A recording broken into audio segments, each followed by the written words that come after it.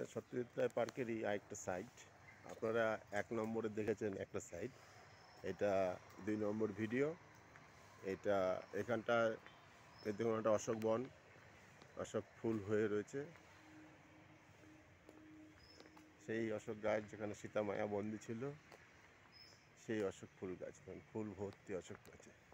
এই জায়গাটা বাচ্চাদের খেলাধুলার জায়গা। এই যে ছোটা ভীম, চার্লি সব কিছু আছে। সেসব খুব সুন্দর জায়গা, মনোরম পরিবেশ। এই দু একদিনের মধ্যেই পার্ক খুলে দেবে সবার জন্য। সরকার থেকে নির্দেশ চলে আসবে, সব খুলে যাচ্ছে তো।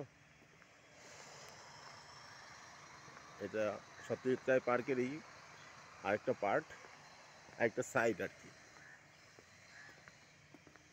এখানেও ছোট্ট একটা পুকুর দেখতে পাচ্ছেন, খুব সুন্দর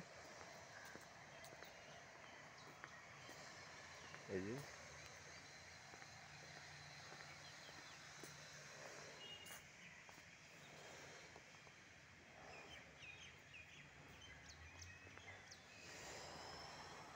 চারিদিকে সবুজ খুব সুন্দর জায়গা।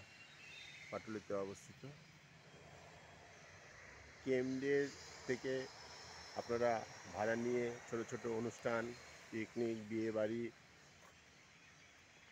ওয়ান ডে কোনো অনুষ্ঠান সব কিছু করতে পারে রাত্রিবেলা যখন লাইটগুলো জ্বলে, খুব সুন্দর মনোরম পরিবেশ থাকে। প্রচুর লাইট রয়েছে, এই দেখছেন? কালারিং গাছপালা পরিষ্কার পরিচ্ছন্ন এখন সব পরিষ্কার হয়ে যাবে। ছোটা ভীম